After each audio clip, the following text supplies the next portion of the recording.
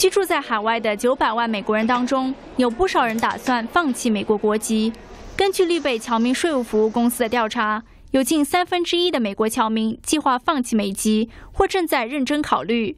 过去一年里，这个比例上升了百分之十。调查显示，美国的报税要求是侨民考虑放弃公民身份的首要原因。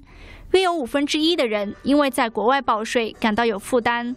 每年，美国侨民必须就全球收入向美国政府缴税，包括工资、商业利润、投资收入的税务等。虽然他们可以通过海外收入排除和税收抵免政策来避免双重缴税，但每年在两国报税花费的时间和金钱要比别人更多。然而，高级财务规划师布德罗认为，一旦放弃美国国籍之后，想重新入籍会很困难，后续可能还会有遗产税问题。因此，想办法解决当下的税务问题，恐怕比直接放弃公民身份更实际。新唐人电视台记者张博元综合报道。